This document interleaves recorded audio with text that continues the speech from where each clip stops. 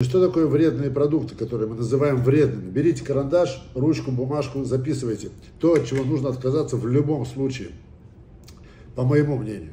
Ну, то есть вы можете делать все, что угодно. Но если вас интересует мое мнение, то нужно отказаться от фастфуда. Это в первую очередь. Фастфуд, чебуреки, чипсы, э, все, что, все, что делается в глубоком масле, однозначно от этого отказаться.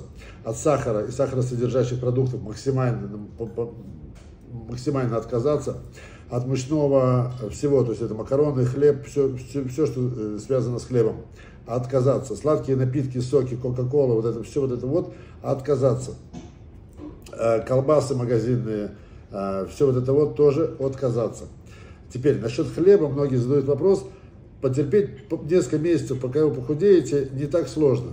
Потом, когда вы уже э, достигнете нужного вам веса, можно добавлять кусочек хлеба а, на завтрак или что-то такое при желании. Но пока вы в активной фазе похудения, от этого нужно отказаться. Еще желательно отказаться от крахмалистых овощей. Это картофель, свекла, морковь на активной фазе похудения. Потом это можно эти продукты добавлять в рацион. На активной фазе похудения от этого лучше отказаться лучше отказаться от молочных продуктов. На ночь, по крайней мере, это однозначно. Лактоза – это сахар, заливает жирком по полной программе. Поэтому вечером от этих продуктов отказываемся. Вечером мы едим только белок и клетчатку. Это основной продукт для вечерней трапезы. Ну, вот как бы и все, наверное. Всем, кто слушал, молодец и замечательного настроения. Всем приятного аппетита.